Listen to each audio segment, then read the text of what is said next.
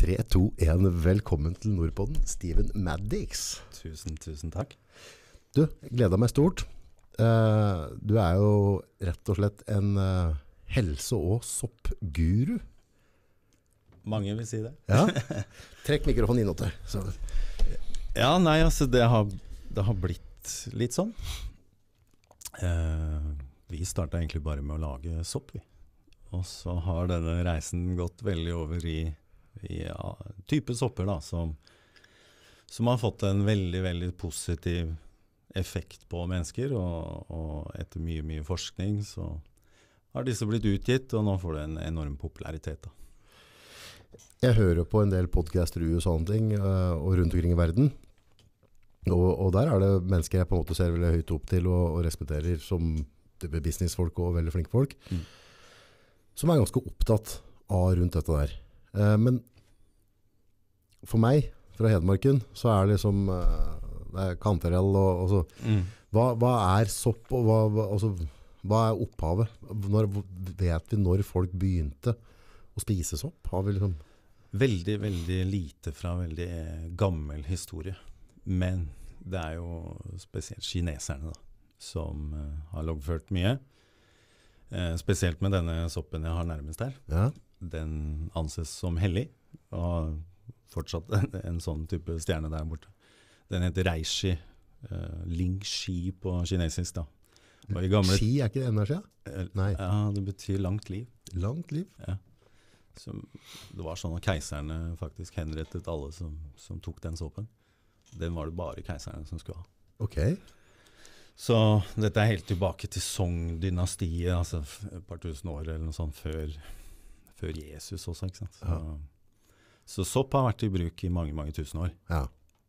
Um, og så har man kanskje glemt det litt langs veien nå.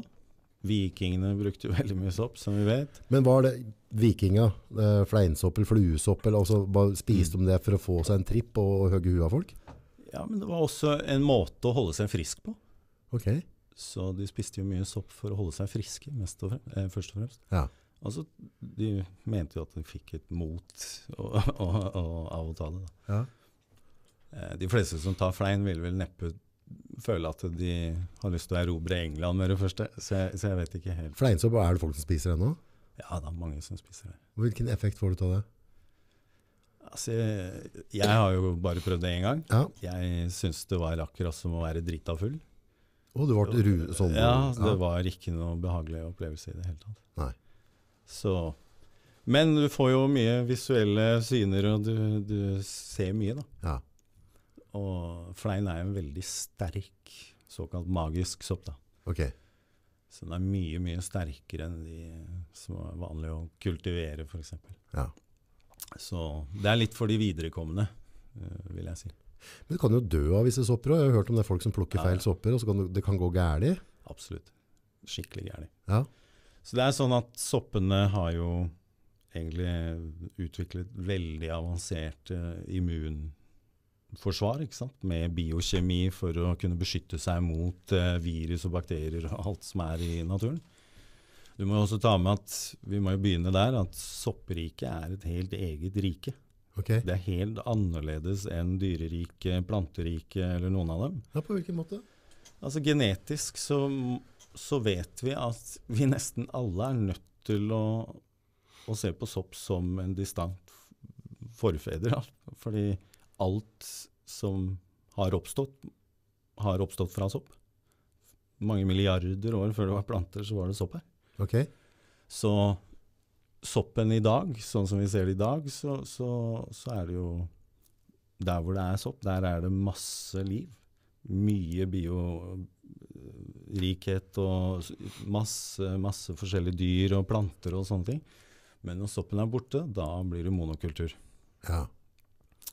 Ja, Så det når vi spiser enkelte sopper da, som har vært der i et par milliarder år, Ja. eh, og ikke vil bli spist av dyr eller av noe, så har de laget seg noe så vanvittig offensive midler. Blant annet hvit fluesopp. da. Og de som er så heldige å ryke på den, så sier de at det er den beste soppen de har smakt. Og så merker de ikke noe, og så går det et døgn, Og så begynner den å spise opp nyrene dine. Og så går det neste døgn, så går den til angrep på leveren din. Og så spiser den deg opp innvendig over fem dager. Du får ikke stoppa det?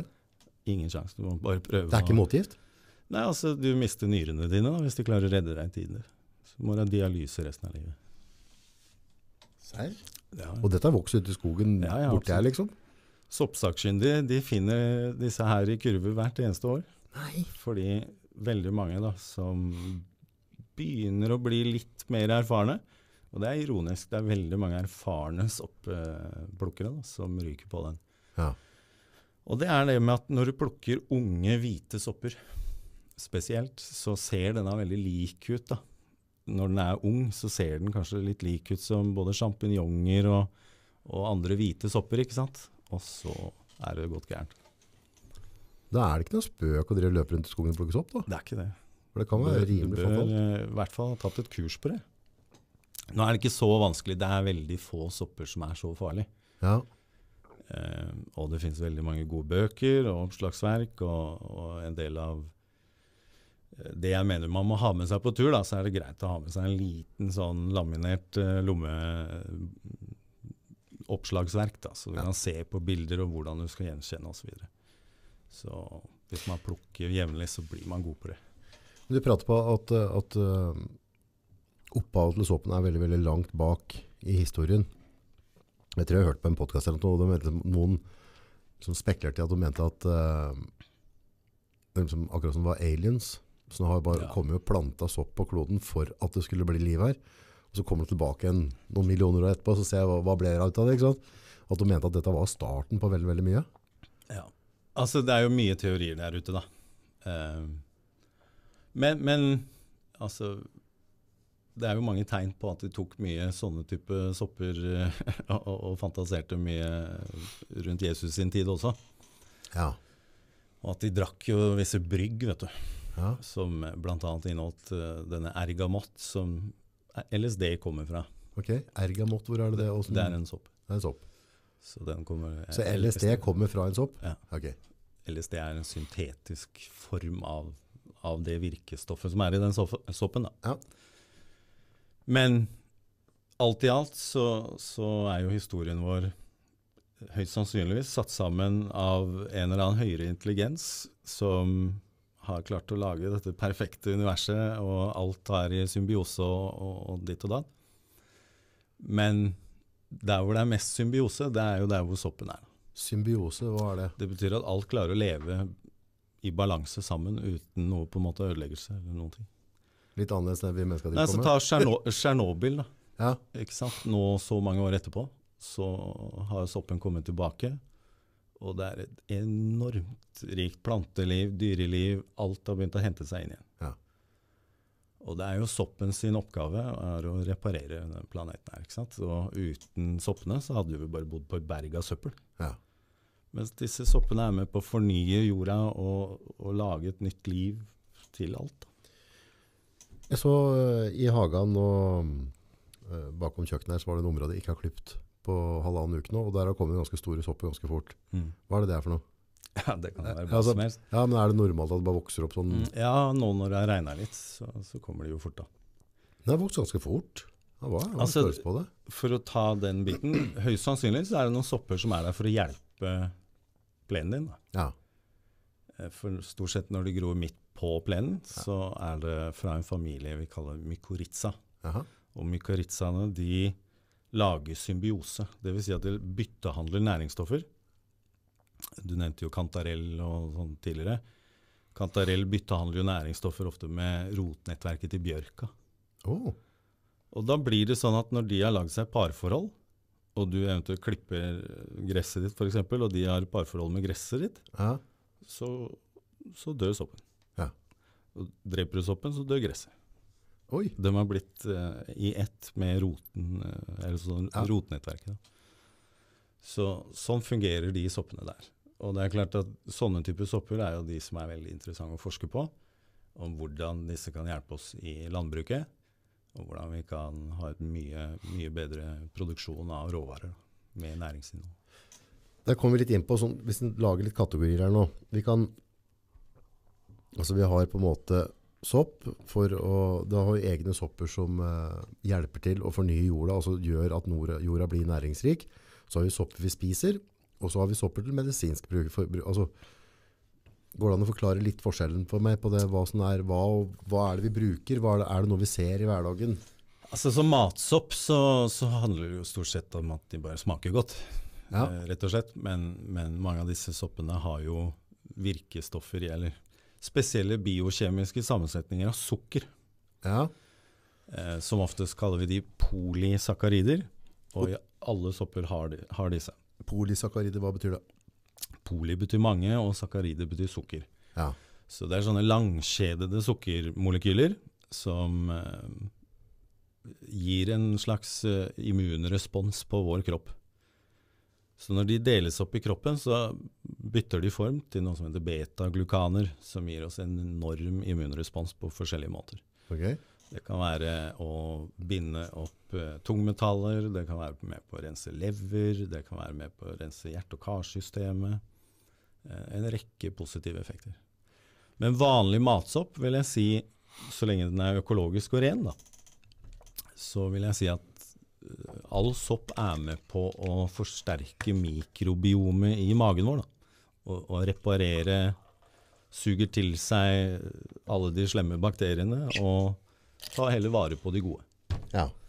Så det er mye studier på det med vanlig blågrå østers, som er kanskje den mest kultiverte eh, soppen i hele verden. Ok.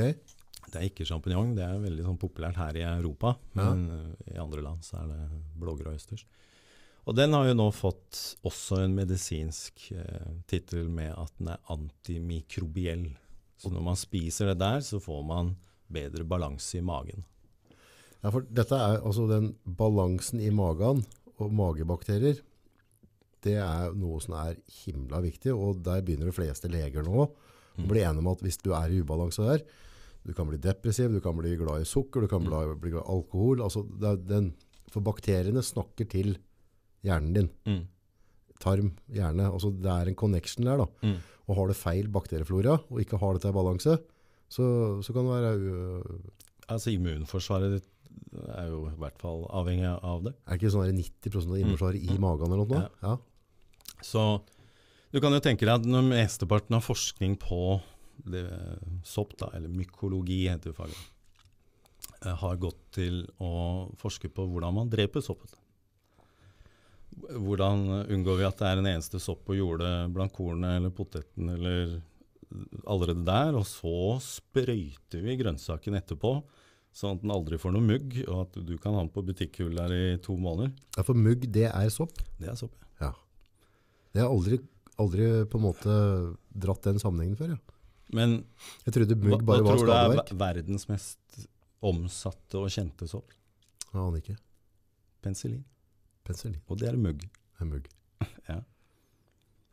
Så, så mugg er mer vanlig.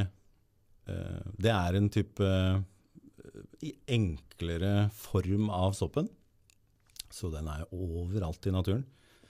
Så bare du dusjer og går ut døra, så har du mer eh, muggsporer på huden enn du har hudceller. Okay. Det er overalt. Du kan jo tenke deg alt du bare kjapt åpner og lukker, så vil det ganske raskt komme mugg på det. ikke sant? Men er det da, hvis du skal på en måte ha i deg muggen eller lage antibiotika, er det forskjell fra hvor, hvilken produkter muggen kommer fra? Eller altså, Ja, eller min tippoldefar, da. ja, Eh, eh, irsk, da. Han, eh, han var bare 17 år når han ble sendt til skyttergravene i første verdenskrig. Oh. Eh, og han var jo veldig flink til å skrive dagbok, da, så den er utgitt eh, på museum i, i England. Er det? Eh, og der beskriver han et gammelt kjerringråd fra Irland om at de skulle ofre den ene brødskiva med loff og la den mugne helt. Og fikk du skuddsår, så skulle du trykke den loffen inn mot skuddsåret for å hindre infeksjon. Det høres jo helt feil ut, vet du. Alle, alle de irene overlevde, og alle de britene han var i tropp med, døde av infeksjoner. Ja, for det var jo det som var den store drepen der nede. Så, så muggen var da et triks for å, å holde såret rent. Da. Tenk på det. Så så enkelt kan det gjøres, faktisk. Men Det er sånne kjerringråd vi har glemt. Tidlig liksom. start på antibiotikaen. Ja, ja, ja. Så antibiotika er jo, er jo en form for mugg, da. En prosessert på en måte. Men hvis vi går på Kina, da. De ligger jo noen tusen år foran oss, ofte på sånn type helsekost, teer osv. Er det noen type soppbruk de bruker der helsemessig på de emnene som du har sett? Eller er det, er det Ja, nå kommer det over hele verden, egentlig. Men ja, de har jo brukt eh, en sopp som virkelig skremmer fanden på flappmark, eh, egentlig, hvis du ser på den. Ja, Eh, det er en familie vi kaller cordyceps. ja vel? Og eh, på en eller annen vanvittig måte så har moder jord lagd denne familien her. Og det er altså en sopp som Det fins én art omtrent for hvert eneste insekt som kan bli en landeplage. Og den fungerer sånn at hvis vi tar cordyceps militaris, da, som er blitt den vanligste å dyrke, Ja, det er den som angriper eh, Nå husker jeg ikke hva den heter på norsk, men bullet ants. Disse, når du blir bitt av en, så føles det ut som du blir skutt av, i leggen. Ja. Der, er navnet. Den tar over sinnet til mauren. Prøver å få den inn i maurtua for å smitte resten av tua. Men de andre skjønner med en gang at den har blitt zombie. Så den kommer til å nekte den inn i maurtua. Og så tar den over hele nervesystemet til mauren og styrer den som et PlayStation-spill. Får den til å klatre opp til det høyeste punkt. Bite seg fast med krampetrekninger til døden i et blad. Og så dreper den mauren og gror ut av hjernen på den. det er cordyceps. Så den sopp gror ut Ja, og den, denne er jo der hvor eh, opphavet til alle disse zombiefilmene og, og sånn, ikke sant. Når, eh, når lager moder jord en cordyceps for mennesker? mm. Når eh, blir vi ansett som parasitter den skal fjerne, liksom? Så Nå husker jeg ikke denne den er litt skremmende. Men det som har vist seg, da, er at kinesere har jo brukt dette her i OL-lag i alt mulig, og den øker jo vann... Altså Jeg bruker ni den i mennesker? Ja, ja. Han gror ikke et skallende av våres da, eller? Nei. Men for oss mennesker så er det jo en slags naturlig både Viagra og prestasjonsfremmende, og man får helt enorm energi og blodstrøm og alt mulig. da. Så det er doping, rett og slett? Ja, I en sopp? prestasjonsfremmende som bare det. Yes. Så nå vurderes den jo som på dopinglista. Så det har den brukt i Kina? Mm. Sjukt. Så nå dyrkes Jeg vet om noen kollegaer av meg i Norge som nå dyrker den. Hvilken andre type sopper er det som er utbredt i Kina? Nei, altså, og, og Det er jo spesielt denne her, da. ja. Reishi. Hvilken helseeffekt har den, da? Altså det er det. Om du skulle hatt én sopp som hadde en helsevekt på nesten alt, så er det jo den. Ja. Så vitenskapen har beskrevet 103 forskjellige såkalte triterpener. Det er um, en type polyfenol-alkohol. Så han er det- ingenting? Nei, altså dette er uh, ting som regulerer helsa vår i stor grad. Ja. Blant annet regulerer alle hormonene våre. Mm. Så den viser effekt på østrogen, progesteron, testosteron, insulin, kolesterol, dopamin, serotonin osv. Så, videre. så alle som tar den, erfarer at de får et mye mer balansert syke og, og helse. Så har den jo noen andre, disse alkoholene jeg prater om, som viser veldig bra effekt mot hjerte- og karsykdommer. Eh, Så veldig mange har fått veldig god effekt med reishi. Er det lov å lage en og spise en i Norge? Ja. Så det er lovlig? Den har jeg lov å lage. Jeg har akkurat hatt et møte med Mattilsynet om hvilke EU Det er jo ikke Norge som bestemmer noe lenger, de har gitt bort all makt til EU. Så, så de har lagd en liste på hva som er greit og ikke. Men den er grei? Og den er grei. Ja. Mm. Nå er det jo faktisk sånn, jeg må tillegge det, at uh, det er stor forskjell på meg som er firma, ja. og, og deg som privat. Du har lov å lage de, alle disse soppene selv. ja. Det er bare jeg som firma som ikke har lov å lage, masseprodusere det og distribuere det. eh, på en måte. Men jeg kan lage fleinsopp hvis det er det jeg må gjøre, liksom? Ja, ja. Men jeg kan ikke eh, på en måte distribuere dette. Men akkurat den er grei. Den, den har jo mange tusen års uh, Masse masse milliarder av mennesker som har brukt denne her i mange mange år. Og, og så mange mennesker ljuger ikke, da. Nei. Men kineserne har nok liksom på en måte hatt dette her som en naturmedisin, mens det er først nå de siste 20 åra vi får litt ordentlig god forskning på dette her. da, ikke sant? Hvor må- lenge tror du det er lovlig hvis det gir effekt? For altså, det er lett for å bli sånn at farmasautindustrien, så fort det er et eller annet naturprodukt som fungerer på helt tatt folk, så blir det banna på et eller annet vis, og så får du kjøpt en syntetisk utgave isteden. Ja, jeg har som sagt akkurat hatt Mattilsynet innom. Ja, Eh, og det var en begredelig opplevelse, for å si det pent. ja, Eh, da gikk de til angrep på en annen sopp jeg lager, som heter turkey tail, eller silkesjuke på norsk. Og denne jeg, jeg kan forstå at EU velger å på en måte si Hei, dette må reguleres. ja, Det kan jeg forstå. Men ikke å sette alt i rødt. Det har du ikke lov å lage eller produsere eller gjøre noen ting med. Det, det er en sopp som gir kanskje den aller, aller sterkeste immunresponsen av alle sopper. Og tilbake til disse beta-glukane, så er det den type soppen som har flest av disse beta-glukane. Um, og så finnes det jo mye filmer der ute nå som sier at eh, ok, hun har vært igjennom hele legeindustrien og ikke fått hjelp mot kreft, og så begynner hun med den, og så er kreften borte på et halvt år. ja.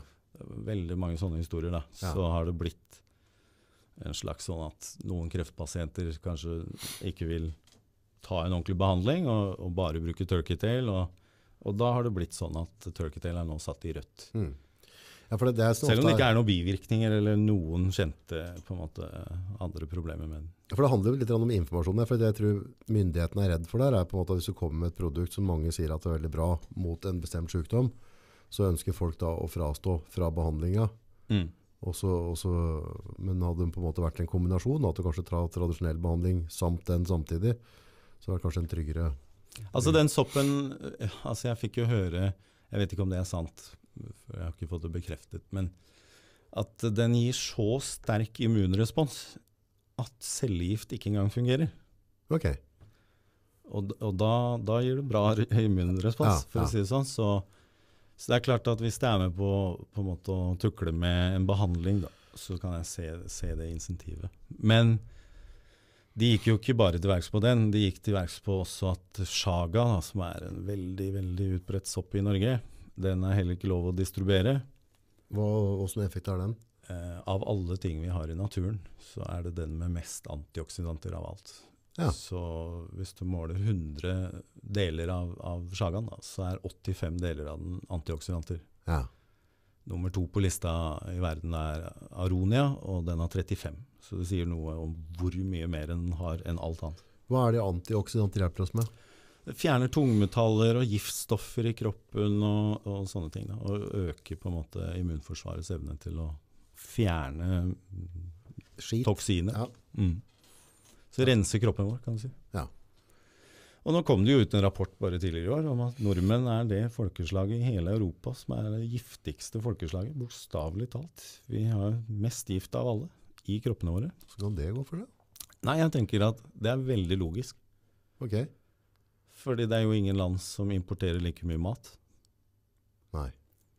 Så det er langreist fra? vet så når først putter du på kunstgjødsel med masse rare sulfater og giftige salter og alt mulig rart, og så sprøyter du det og med noen soppdrepende midler og med alt mulig glyfosater og alskens mulig rart, og så importerer vi det fra Spania eller fra Taiwan eller hvor det kommer fra. Og så spiser vi dette her og, og får en, en forferdelig giftig helse. Ja. Og, og da kan man jo begynne å spekulere i hvor mange av disse eh, helseplagene som kunne vært unngått. da. Med mat, rett og slett? Ja. Og, og soppen er jo med på på en måte ta ut de toksinene, og da skjønner ikke jeg at eh, Norge og EU vil nekte Sjaga. Det, det høres helt, eh, helt vilt ut. Ja. Så vi, vi ber jo om at de kommer med beviser da, for at dette her ikke burde være noe alle folk spiser. Mm. Så vi, vi står der nå. Så det er litt nybrottsarbeid å drive med sopp. Um, og jeg tror nok at etter du ser denne vaksinekampanjen som har vært, Mm. så er det jo grunn til å tro at stat og det korporative eh, verden er ganske mye mer sammensatt enn vi tror. Ja. Og da er det klart at da blir jo kanskje soppene en direkte konkurrent mot Pfizer og Moderna og disse her da, som produserer medisiner. Mm. Og hvis folk er friske, så tjener jo ikke de så mye. Nei, for mye av det vi har vært gjennom nå, så, så handler det liksom Det handla om veldig lite dokumentasjon og informasjon. Men det handler veldig mye om å blindt følge det du får beskjed om Mm. gjennom TV og, og helsemyndigheter. Og det er jeg litt sånn skeptisk til. Så at eh, Stiller du spørsmål, så, så skal vi egentlig forandre loven, så vi kan omtrent gjøre hva vi vil med det. Og så skal vi lage kampanjer sånn at, at du blir sjåna på gata hvis du stiller spørsmål. Men holder du kjeft og bare gjør akkurat det vi ber om, uten å stille spørsmål, så er du, er du ok. Og det syns jeg altså, Dette er jo ting vi ser, ser igjen i historien mange ganger. Ja, Det er jo ikke første gangen, men å eller til om, om vaksine er bra eller ikke bra. Altså, la oss la den diskusjonen ligge. Men når ble det sunt at vi ikke fikk lov til å stille spørsmål? Nei, spør altså når- dette er jo ting som eh, Når jeg mener tilbake i historien, da, så, så sist jeg har vært borti sånne type atferd fra myndigheter, da, så tenker jeg tilbake til nazitiden. Ja, ja. Ja.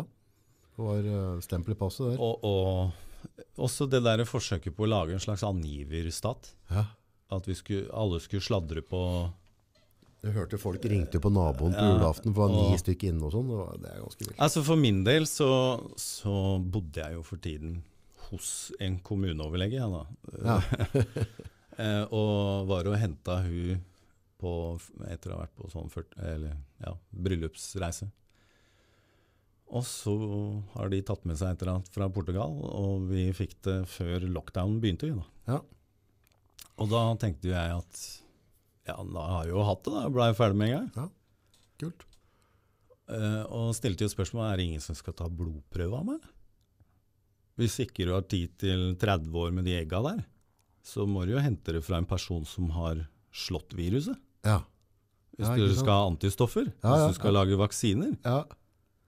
Og, og for tiden da så jobba jeg jo for DHL Ekspress òg, så jeg var jo den som leverte på FHI og eller Folkehelseinstituttet. Lovisenberggata. Og, og spurte om dette her, da. Men da har jo jeg hatt det. Da har jeg slått det. Ja. Ingen interesse. Nei. Og vi var jo syv stykker som blei smitta da. Og det var jo ikke en vanlig influensa, det vil jeg si. Den var eh, brutal. Ja. Og han ene blei faktisk blind altså, etter, etter den runden. En eldre Blind? Ja, i familien der. Da. Så det var en brutal sykdom. Så jeg skjønner jo dette kravet om vaksiner. og at men sant, da, da begynner vi å, å tenke på at da, da skulle jo staten på en måte ta vare på folk og gi oss vaksiner for at vi ikke skulle bli daudsjuke. Ja. Men så har jo historien begynt å dra seg ut der, at vi begynner å snu midtveis her. At da funka jo ikke de vaksinene. Så skulle du ha booster én gang, og så skulle du ha booster to ganger. Og nå er det øh, faktisk nå da den fjerde er ute. Jeg hørte sånn reklame Og ingen av dem har funka. Og vi har bare ignorert 66 000 alvorlige bivirkninger, og staten mener at å ha sterilisert noen ikke er alvorlig. og Ja. og når liksom 16-åringer som er idrettsutøvere bare detter om på idrettsbanen, så, så, ikke så ser, ser vi Ja, nei, nå er det sannhet. Ja. Og dette var jo ting vi advarte om, Mm. um, og som ingen ville høre på. For det er jo ikke en vaksine. De endra jo selve definisjonen av hva vaksine er. Så da funka jo aldri min teori om at jeg skulle gå til FHI og måtte ta blodprøve for mine antistoffer i utgangspunktet, for de hadde en helt annen agenda fra utgangspunktet. Ja. Og det var jo sånn mellom den første og den andre dosa jeg fikk vite at de hadde hatt denne drillen. da.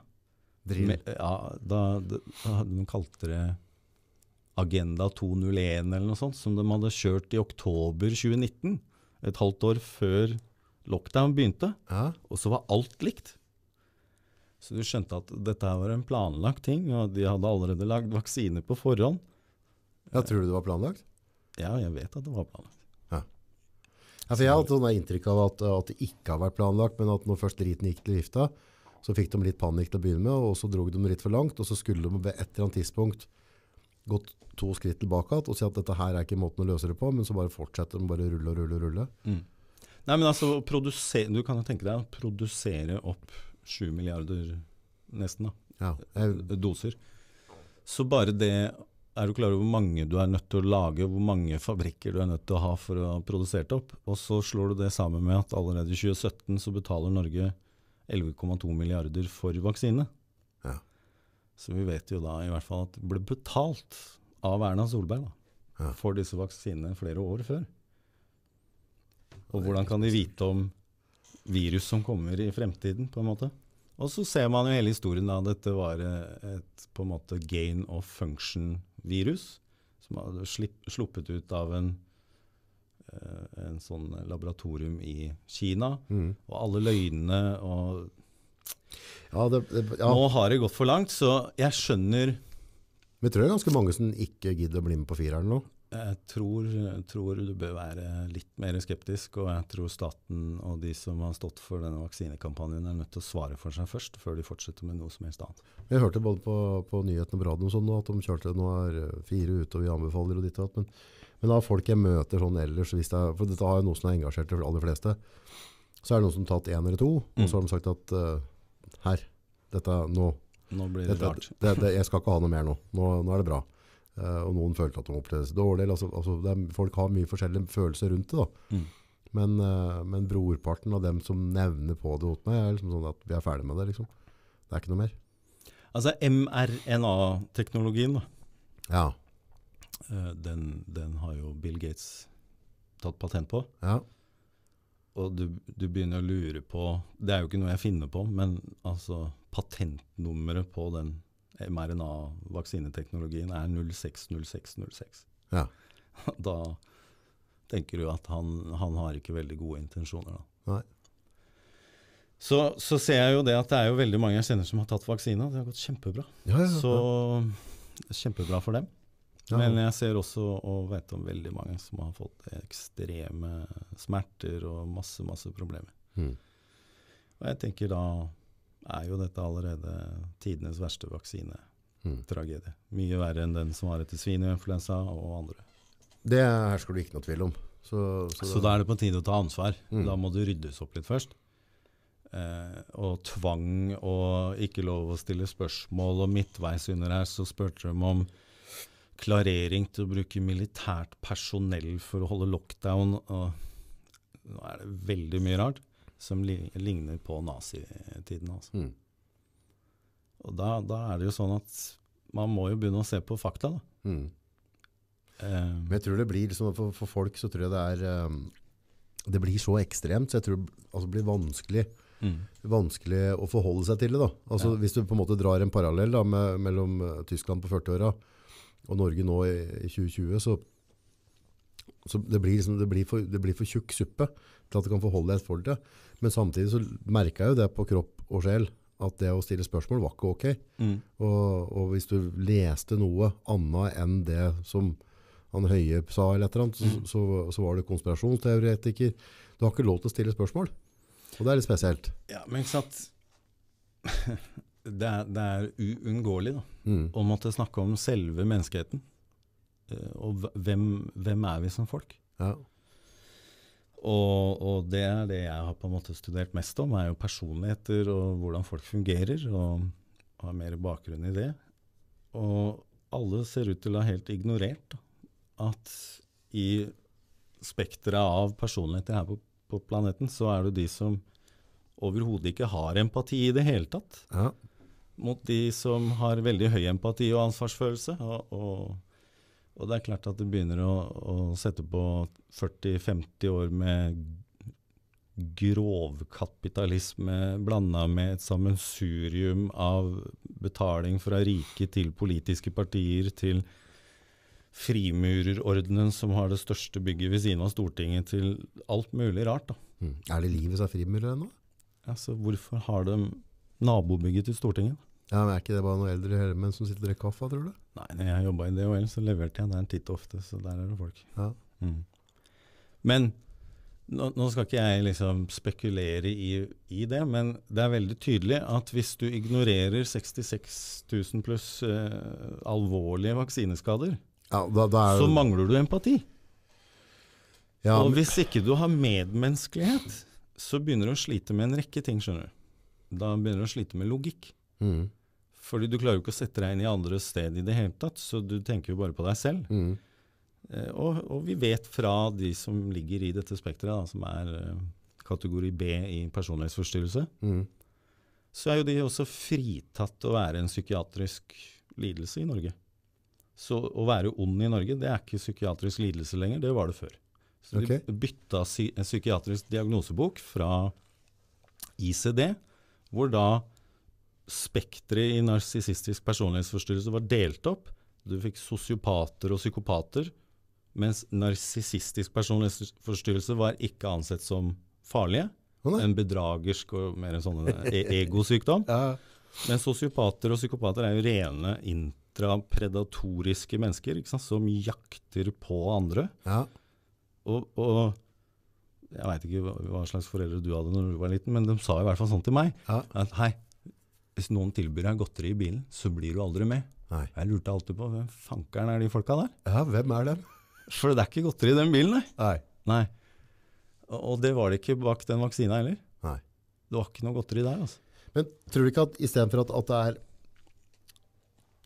hardbarka, onde mennesker, så noen ganger så gjør mennesker et eller annet i god tro?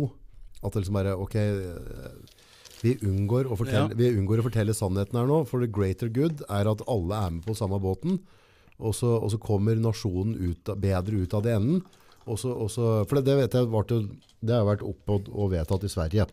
Der var det Eh, de gjorde en forskning på at det er forhold til med vaksine og, og ditt og datt og bivirkninger. Og så ble da den rapporten vist at liksom dette, dette var dårlig butikk å stikke folk. Og så ble den bare debunka, og så ble det bare sagt da at eh, i trygghet av folket så velger vi å ikke legge fram den rapporten, for da tror vi at folk ikke ønsker å vaksinere seg. Og hele poenget med, med testprosjektet var for å finne ut om om det var sunt eller ikke. Da. Men det gjorde de da i hensikt med at de mente at det var bedre for nasjonen. Da. Nå, nå var det jo en annen sånn podkast, veldig kjent en, som heter Joe Rogan. Ja, Han fikk jo covid, han òg. ja stemmer. Og så hadde jo han hatt noe doktorgjest. Peter McCullough, tror jeg han het. Ja. Som hadde da skrevet ut uh, Ivermectin til han, Ja. uh, og noe annet. Og så filmer han seg selv og at du, jeg er helt frisk jeg, på dag to. ja, det funker. uh, og så møter han jo på en verden av massemedia som kaller han det ene og det andre, og fornedrer han med at han tar horse dewormer, og det var ikke måte på. Rasistspledd nå. Han var alt, alt mulig. ja, Det, ja. var- det var ikke måte på. Uh, først må vi jo ta en liten vei tilbake med hva er Ivermectin? Ja. Det er jo da et uh, preparat som, som oftest har blitt utskrevet for malaria. Mhm. Så det er jo en veldig kjent parasittmedisin. Men hva er det for noe? Jo, det er også sopp. Det er sopp, det òg, ja. Ja. Så det er eh, altså eh, Vi kaller jo sopp, men vi burde egentlig slutta med det. Vi burde kalt det museler, for det er ikke alle museler som gidder å lage så mye sopp. Nei. Og dette er ah, en av disse. Så dette er en såkalt eh, jordlevende musel, som er med på å forstyrke mikrobiomet i landbruket i Japan. Ja. Og så var det en forsker som finner denne her. Og den heter streptomyces, og den hadde en helt vanvittig immunrespons og kverka alle parasittangrep. ja, for den gjør at parasitter ikke klarer å formere seg videre. Ikke sant? Så hvis du først da får covid, så istedenfor at det på en måte da formerer seg og spalter seg i cellene dine og blir mer av dem, så stopper den dem. En, en, nesten en sånn cordyceps for parasitter i kroppen din. Ja. Mm. Og den er jo ekstremt effektiv også. Mm. Den har jo fått Nobelspris. ja, for og- menneskemedisin, og så kalte de det hestemedisin. Så da, da skjønner du hvilken vinkel og eierskapet til de som styrer agendaen Ja, for hvorfor, Hvor utbredt er det, da? hvorfor kaller de det hestemedisin når vi vet at det har fått Nobels fredspris som en medisin for mennesker? Også, også. Ja, og når du ljuger så jævlig, ja. og du er CNN og? Så, så nå så tror jeg CNN har en gjennomsnittlig tilskuerbase på rundt 600 000 i et land med tre, over 300 millioner. Det går gærent med han. Så når du ljuger så jævlig, og de gikk mot Joe Rogan på det, og da, da, da mista veldig mange troa på dem. Altså. Um, så jeg ser, ser hele den perioden vi har vært i, har vært så ekstrem, og den har vært også veldig lik i alle land. Ja. Så dette er jo ikke unikt bare her i Norge. Du ser jo også til andre land hvor det har gått litt lenger. ja. Canada så var det ganske ekstremt. Ja, og nå, nå i det siste da, så, så er det jo veldig spennende å følge hva som skjer i Nederland, syns jeg. da. Ja, jeg har ikke fulgt så nyhet der, ja. Um, fordi det vi ser er ikke sant, um, Når jeg studerte, så, så lærte jeg om noe som het smartkrig. Ok. Eh, og det er egentlig en type CIA-basert uh, modell hvorav du lager krig uten at noen har merka at du må ha vært i krig. Ja. Og du bare har okkupert et land uten at du har merka at det har blitt okkupert engang. Hvordan du økonomisk okkuperer en hel region for å stjele olje der, eller hva det måtte være. Da. Mm. Disse tingene trodde jeg aldri i mine villeste drømmer skulle foregå i Norge. Mens nå er det helt tydelig, på en måte. Ja. På hvilken måte da, tenker du? Nei, nå ser du skvisen skje fra alle kanter samtidig, og de er ikke reelle. Det vil si dieselpriser. Ja. Staten har, kan gjøre sånn og fjerne moms. De kan regulere den prisen akkurat som de vil. Ja. Og av en eller annen grunn da, så ser jeg at der hvor jeg bor, så har jeg en stasjon jeg, som nesten alltid har 19-20 kroner literen for prisen, mens bare jeg kjører et par kilometer til, så er det 25 kroner. ja. Så jeg vet at det er satt inn i algoritmer etter hvordan du tømmer lommebøker og alt mulig, og hvem som er villig til å betale for hva, og så setter du på smartmålere, som det er mange, mange bevis for, at måler noe helt annet enn reell bruk. Smartmåler er for noe. Det ser ut som måler strøm Ja. i alle bostander. Ok. Ja, det jeg vet jeg det var noen rettssaker og noe styr og stell, men hva, Det betyr at smartmålerne er jo egentlig bare sånn at de kan rigge spillet med hvor, og, og gi deg hvor mye strøm de bestemmer. Ikke sant? Så du har mulighet til å skru av strømmen din på en annen måte? Og, og, og også trikse med det. Ikke Ja. At du egentlig bruker 500 kW, men så bare kan de sende til den maskinen at du har brukt 1000. Ja. Så veldig mange søker nå om å ta ut disse senderne som er i dem. Men da det var det ikke noen rettssak der? ser- Du fikk ikke lov til å ta dem ut, for da mista du strømmen? Eller altså, var det ikke noe Ja, men tilbake da, så ser du at det kommer nå fra alle vinkler. Matvarepriser, alle vinkler kommer nå lenge før inflasjonen har startet. Ja. Og for å skvise nordmenn tomme for penger. Ja. Så økonomisk okkupasjon ser det i hvert fall veldig ut som. Ja. Og Norge er et ekstremt rikt land, påstås det. Da har de råd til å dekke strømmen, og hvis de var så forbaska bekymra for bestemor med vaksiner og alt som var, hvordan kan de nå la fryse i hjel denne vinteren? ja, det er jo et godt poeng, da. Så hvor er empatien hen? Mhm. Empatien viser seg å ikke være til stede i det hele tatt Ja, hele veien. Og det er masse ljug og fjås hele veien. Støre og Ingen når de driver på som drev også. For det, hvis du gjør det veldig enkelt, da, og du styrer et land og du jobber for folk i det landet, og, og dem, massen sier at dette er ikke ok, så må du bare forandre på det, egentlig. Mm. Du kan ikke la folk gå og fryse gjennom vinteren, blant annet. Eller, Eller det er mat. jo da noen som kan det, da. Ja. Og de er ikke som oss. Nei. De folk flest. vil- De er ikke altså- som folk flest. Nei, fordi hvis vi går tilbake til dette narsissistiske spekteret, Ja. så kategoriseres jo disse ekstreme av. Eh, altså sosiopatene og psykopatene. Psykopatene er da født uten MAOMA-genet. Det vil si. Eh, det er reguleringsgenet. Så de kan ikke regulere seg. Så de kan ikke noe for å gjøre faenskap uansett. Can't fucking help themselves. Og ca. 1-2% blir født sånn. Så Ja. da kan du tenke deg da, du har sikkert sett mer enn 100 mennesker i dag. Ja. Og da har du sett 1-2 av dem er menneskelige intrapredatoriske mennesker som bare jakter på andre for å ta alt de har. Det høres jævlig trist ut. Men det er sant. Også hvis du tar hele kategorien, og det, nå er det jo ikke noe norsk forskning på dette her, men det er fra professor Lind i Sverige, så påstår han at han er nøktern når han vurderer det til at det er 4-6% er patologiske lystløgnere, hvor ære, moral, etikk, alle disse tingene er ikke i hjernen deres engang. Når vi skanner hjernen deres med noe som heter FMRI, så kan du synlig se at hjernen til en person uten empati er annerledes enn oss med empati. Og det finnes ingen regulering mot disse i det hele tatt. Og disse er jo viden kjent, og, og veldig tydelig i historieboka også, at de gjør jo hva som helst for å få makt. Mm. Og for å beholde den makta, så, så er de jo veldig flinke til å organisere seg. Mm. Tross i at de er jo backstabbere så det holder, men seg imellom så, så samarbeider de mot resten. Og dette er det masse, masse eksempler på. Det er ikke sånn at Stalin får til det Stalin ville uten at han hadde et par tusen andre som var med på det. Nei, Det er ikke, ikke sånn at, nas, det er ikke sånn at Hitler fikk til det heller aleine. Så det sier noe om at 4-6% av befolkningen, da, da prater vi om da ja, 220 000-330 000 nordmenn er komplett uten medmenneskelighet. Fy faen, det er stygge tall, da. Det er det. Og, er Og dem vil gjerne kanskje måte jobbe seg opp imot maktstillinger, da. Noe å sette opp imot hva som foregår nå. Da. Mm. Er dette mennesker som i det hele tatt vet hva medmenneskelighet er? Og hvordan i huleste kan mennesker som eventuelt da ikke vet hva det er, ha makt over alle menneskene de lever med? Det, det gir ingen mening. Og dette aksepterer vi. Og gang etter gang så står vi og skal stemme på en eller annen sinnssyk Idol-audition med den ene lystløgneren etter den andre. Og vi tenker om vi skal stemme blått, grønt eller rødt, men så blir det ett fett. Det samme hva du stemmer. Samme hva du stemmer, det er avtalt spill.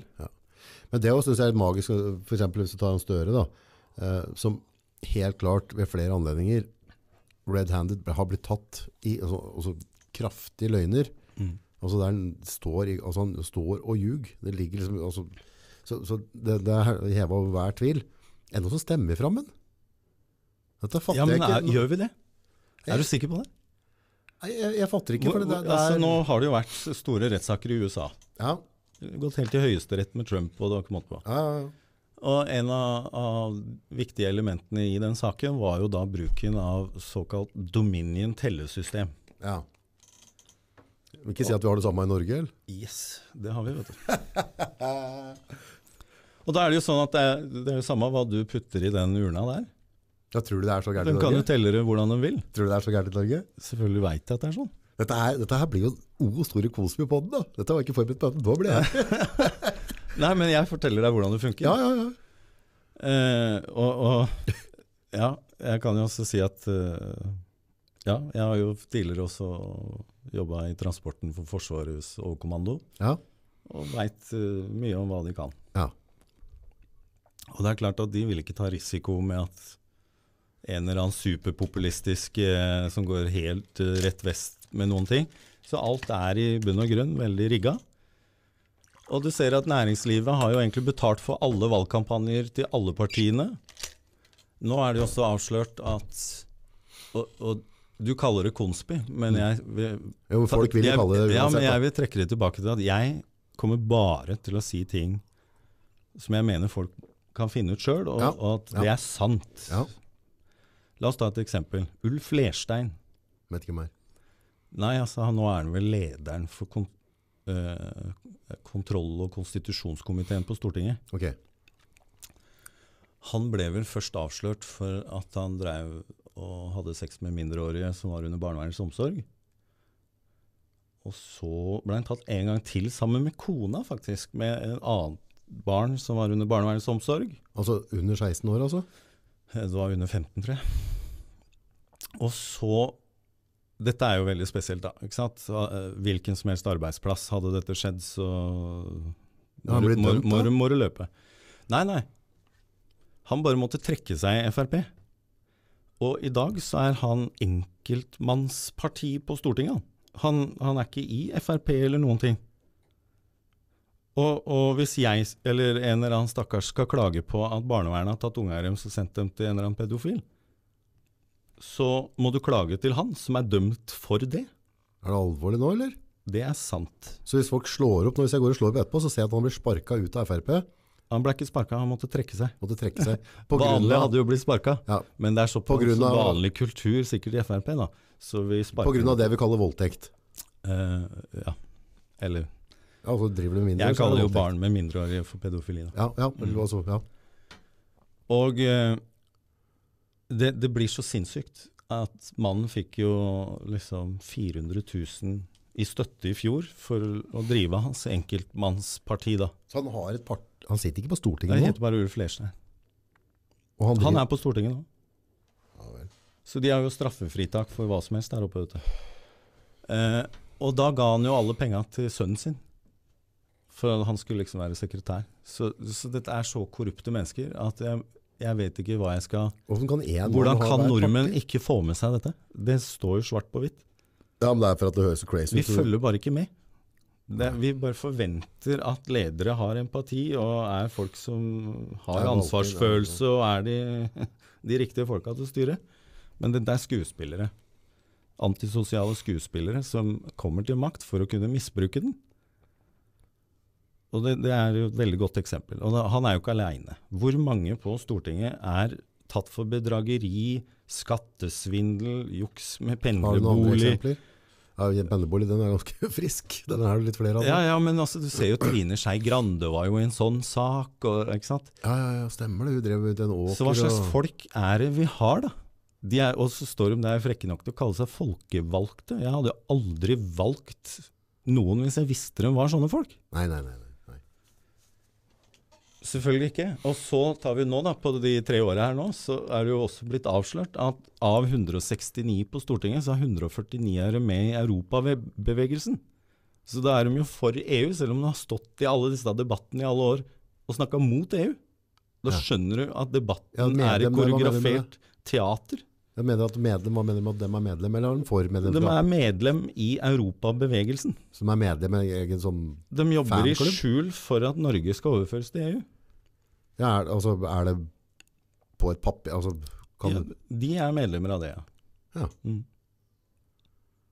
Og dette vet ikke nordmenn. Det, er, det er helt forbausende. Min, min følelse på det EU-greiene var at, at uh, når vi stemte ned, så, så at de bare ble med om EOS og alt dette. Altså vi ble egentlig medlem selv om vi ikke er medlem, så har vi fått alle bivirkninger likevel. Det er, det er jo ikke, vi styrer jo ikke Ja, nei, nå, nå er det jo så dumt at ikke sant, disse her eh, legger jo sport i å kunne ljuge, ikke sant? Ja. Og måten de prata om ACER før og etter den ble kobla på, Ja, ja, er jo et veldig godt bevis, eh, som i alle henseende er et brudd på straffelovens paragraf 111. Det er å overføre norske verdier til fremmed makt. ja, det er forbudt. Det er høyforræderi. Sånn Etter liksom- Grunnloven. Ja. Ja. Så hvorfor aksepterer vi dette? Det er jo høyforræderi. ja, hvorfor aksepterer vi sånn? De bare ler av oss. Fordi bare, Hva skal dere gjøre? Vi har politi, vi har militære, vi har uh, makta. Det er jo helt merkelig. Nei, kokos. Altså, vi, vi, vi eier strømmen, men ikke nå lenger. De har gitt den bort. Nå er det for seint, påstår de. Vi kan ikke gå ut av avtalen, eller? Selvfølgelig kan vi det. Går og klepper den kabelen. Ja. Men Det er ikke krig, de da, som. Ja, men vi har stemt nei til EU to ganger. Ja, uten tvil. Men de har gått bak ryggen vår og tatt bakveien og gjort denne EØS-avtalen sånn at vi er helt låst av EU i alt. Ja. Annet med meg nå som ikke får lov å lage de og de soppene fordi EU sier det. Ja. Og da begynner jeg Ja, men du kjære Mattilsynet-inspektør. Norge har stemt nei til EU to ganger. Dette er helt urimelig. Det er ingen bivirkninger med disse soppene. Dette er, har, dere har bevisbyrden. Dere er nødt til å komme med en årsak for at jeg ikke skal fortsette å lage den, når folk ber meg om det. Yes. Men det nekter de. Nei, da må du ta det til EU. Og det er- EU! ja. Og da, da er jo EU egentlig bare et kjempeorganisasjon som er en megaparasitt, som verken tjener penger eller gjør noen ting, men alle står og fòrer den med verdier. Og så har du aldri en klagemulighet. Var det Andrew Tate som sa at bare gå inn og sjekk, sjøl, folkens, men det er ingen av dem som sitter og styrer EU som er folkevalgt sånn. Det er ingen som veit hvem som sitter i styret i EU i det hele tatt. Nei, så klart. Og Så, ingen er valgt inn. og så lurer vi på om det sitter en luringgjeng på toppen der og styrer alt. Nei, ikke sant. Så, så det er på tide å våkne, da. Nå er ikke jeg, jeg Jeg er ikke noen nasjonalist, hvis Nei, nei, det høres nei, nei. sånn ut. Jeg, jeg mener at det er et folk under solen. Mm. Men vi må begynne å lære oss forskjellen på de som har gode intensjoner, og de som ikke har det. Ja. Og jeg blir veldig skremt av hvor lettlurt nordmenn er, da. Eh, og at de får lov å gå til det lengste med å herpe og ødelegge alle våre muligheter til å ha et fortrinn her i verden. Du, og gitt bort strømmen vår, det var virkelig det eneste vi hadde å rutte med oss etter olje og fisk. Og nå er det kjørt. Dette kan vi ikke akseptere. Altså. Men det må da være folk i, i Samtidig er de frekke nok til å gi avtale til tyske aktører som skal betale 30 øre i, i ti år fremover. Ja. Mens jeg må med min soppfabrikk betale 700 og et eller annet øre her om dagen. Det, det er så galt at uh, dette kan man ikke akseptere. Nei. Nå må folk våkne. Det er en gjeng som absolutt ikke har norske verdier eller norske interesser. Og jeg vil minne alle nordmenn om at det var ikke tyskere som okkuperte Norge. Norge var allerede okkupert av Nasjonal Samling før tyskerne kom. Nå, dette er en historie jeg kan. Fortell. Nettopp. Fordi allerede i 1936 så, så har du jo disse diktene Arne for Øverland, og alle kommer jo med varsku om nazismen lenge før den kommer til altså krigen begynner. Ja. Men Vidkun Quisling og, og hele hans gjeng, de hadde jo tatt over alt før tyskerne kommer. Ja, som var allerede inne og styrte? ja, ja. Og så kalte de det nazister. Hvis du bare legger på en R, hva blir det da? Narsister. Så det er de som hater andre folk. Det er galskap, jo. Ja, men de syns det er morsomt å flippe med folk, ikke sant. Så de kan jo styre Hvis du styrer alt, så kan du styre alle aviser, alle Du ser jo hvordan det ble styrt mot Joe Rogan. Ja. Men der bomma de, for der, eh, han fikk bare flere følgere etterpå. Og det er det jeg syns er veldig positivt i den tiden her nå. Det er at jeg registrerte at det var en tid hvor alle ble kalt konspi. Ja, ja, ja. Men det er ikke mye du skal snakke utenom før Men- konspi. Men eh, være kritisk og skeptisk til eh, rett og slett forskjellen på rett og galt, Mm. det er ikke noe konspi. Nei. Ikke det hele tatt. Nei, og ingen har altså Og når folk begynner å gi seg straffeunnlatelse bare fordi de er i maktposisjoner, og Erna Solberg ga seg selv straffefritak i uendelig tid for den koronarapporten Har hun det? ja. Straff? De har endra Grunnloven. Nei. Jo. Nei, nå må du slutte. Det gjelder å følge med. Dette er sant. Dette kan folk slå opp. Så, så i skjul så har vi blitt eh, mer eller mindre okkupert av antisosial personlighetsforstyrrelse. Uhu. God dag. Har tatt over. Ja, ja. Det har det. Så jeg gleder meg til, til eh, Altså, det er jo en ironi, da. De, de, hvis du leser om dem, så finner du ut at uh, de er jo såkalt eh, hypokratiske. Så Hva de beskylder alle for det de sjøl gjør. Ja. Så når du ser PST komme med sånn ja, antistatlig tankegods, ja, tankegods. så er sannheten mer at de har en antibefolkning tankegods. Ja. Fordi du vet, skal ikke PST gjøre noen ting når mange tusen nordmenn er døde av en vaksine? Det er jo et mord langt forbi hva Breivik har gjort. Ja, ja, da burde du kanskje sjekke opp det litt. Ja. Hvilke type pengestrømmer har fungert her, og hva slags korrupsjon er dette? De, de skal bevare norske uh, Ja, de jobber for meg, de. de. ja. Angivelig, men Ja. du ser at de gjør ikke det. Det jeg syns er rart, er altså at uh, Men det, det har du sett under andre kriger ellers òg. At der myndighetene har gått over stokk og stein. da, At vi fortsatt har unge menn som er villige til å jobbe for de systemene. Som Mm. tar imot lønn. Og tenker at nei, jeg gjør da det mot bror min.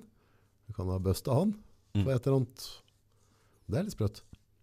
Ja, nei, altså, jeg, jeg ser jo at eh, det er så mange stygge eksempler på korrupsjon i Norge nå at det, det er nødt til å gjøres noe.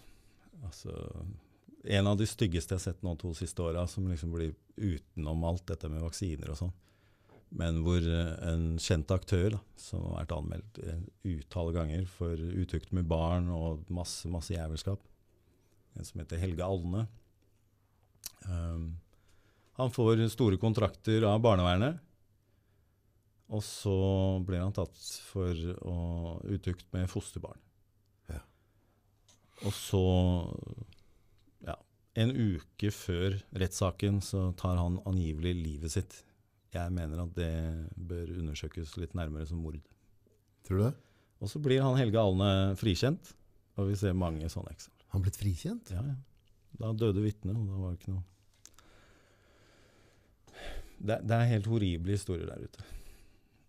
Og de står jo i avisa. Jeg vet ikke om alle får med seg alt, men dette er jo ting vi, vi ser gang på gang på gang. Barnevernet går igjen og igjen i alle disse bruddene i Menneskerettighetsdomstolen. Og nå er det så ille, da. at Norge har flere saker enn resten av Europa har til sammen. Så ille er, Norge. Så i 2021 så blei det så ille at EMD, altså Europa, Europeiske eh, menneskerettsdomstolen, lagde en egen rettssak uten at Norge i det hele tatt var defendant. da. Så bare bestemte de i Storkammeret og dømte Norge som systematiske overgripere mot egen befolkning. To uker etterpå så står Erna Solberg sammen med noen like store kakemonstre ved siden av seg, bl.a. Toril Øie, eh, som er da sjefen for Høyesterett, og gir seg selv rettssikkerhetsprisen. Dette er også da bare tre måneder etter. Det, kan, du, lese om den dommen noe sted? Altså er det ja, ja, absolutt. Det er bare å gå inn på ECHR, eh, European Court of Human Rights.com. Og der ligger det, liksom? Der ligger det. Det gjelder å følge med. Uh, og, og jeg, selv, jeg selv, var jo i en feide med en person som jobba i barnevernet. Ja. Og et samlivsbrudd. Og jeg er den eneste i Norge da, som jeg vet om, og prata med ganske mange. Ingen andre som har hørt om det heller. Men jeg ble dømt uten engang å bli innkalt. Ja. Så tok de med økonomisk arrest i alle mine midler. Sånn at jeg ikke skulle ha råd til å gå til noen rettssak. Og så, når jeg anker, så nekter de anken. Sånn at du ikke får uttømt norske rettsinstanser, sånn at du kommer deg til EMD. ikke sant? Så du har ikke noe sjanse nå.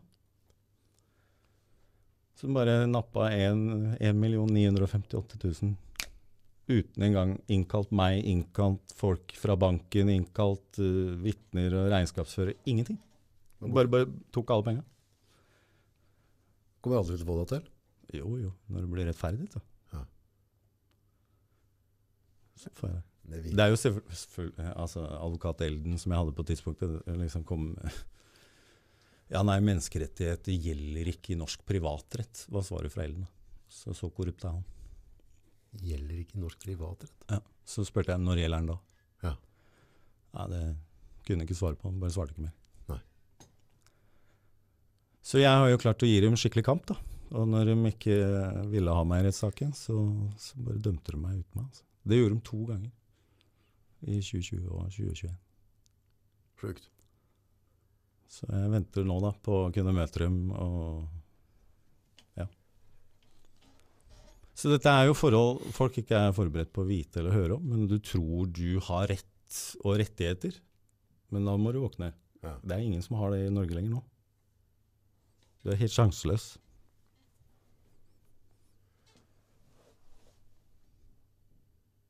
Ja, jeg, jeg, blir jo litt sånn målløs, da. Mm.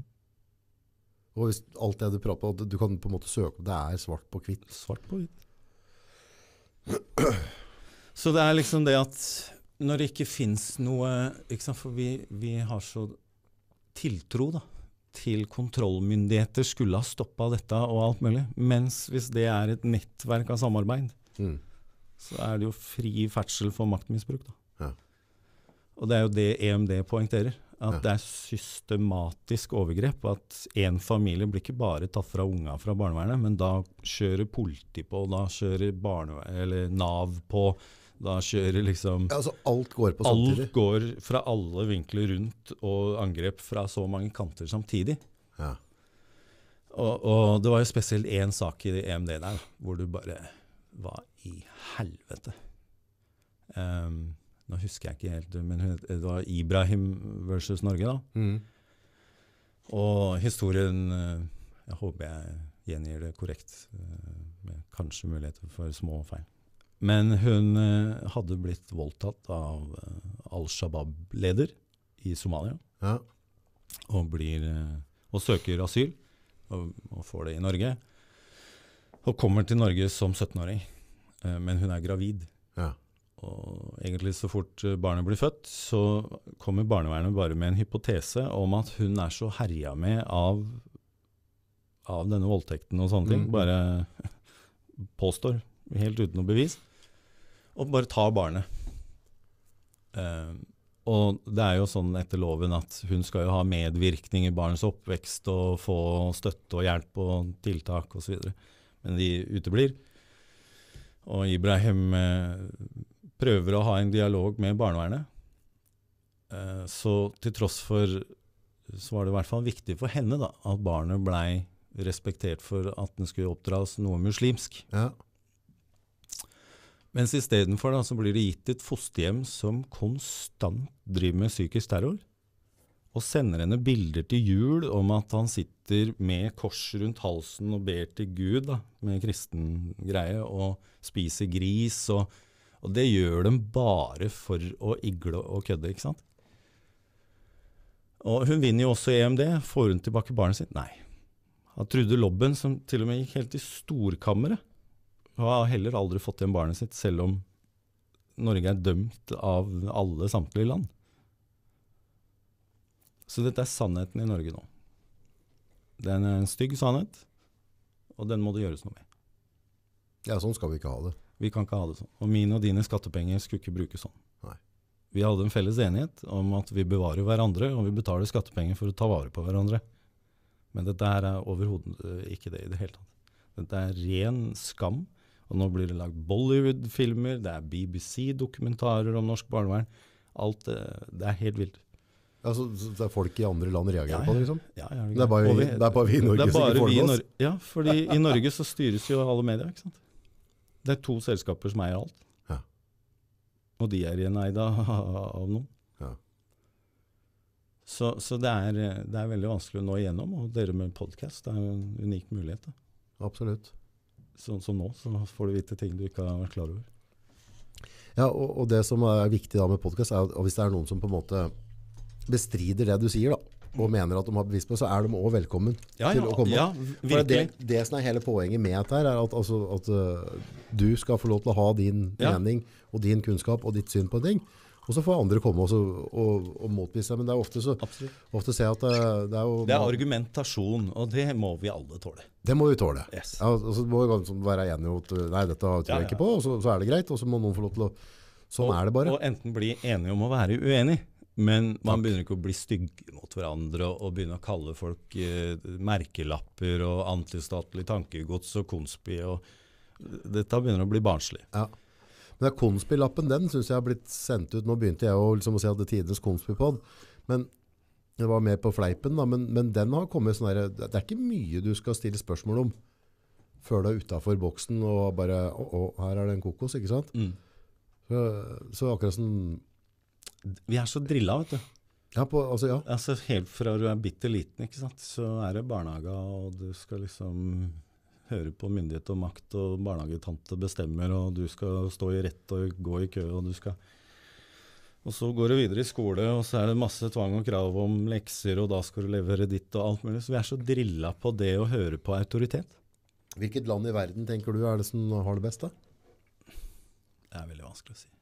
For det er litt Der sånn hvor de er friest, vil jeg si. Ja. Men hvilken er det frieste landet? For det, det virker som at det er jevnt over hele fjøla.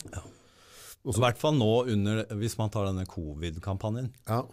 og hvordan eh, legemiddelindustrien får lov å ha fritt eh, leide til å sette dødelige og skadelige vaksiner på folk. Mm. Så ser man jo det samme mønsteret i alle land. nesten. Mm. Det var jo litt sånn rart under covid òg. Det var jo Afrika, der hvor det liksom ikke er sivilisert nok. Ja. Og han der eh, ene, hva var det, Zambia eller Zimbabwe, tror jeg det var. Og han var jo Han hadde vel jobba i Verdens helseorganisasjon, eller hva det var.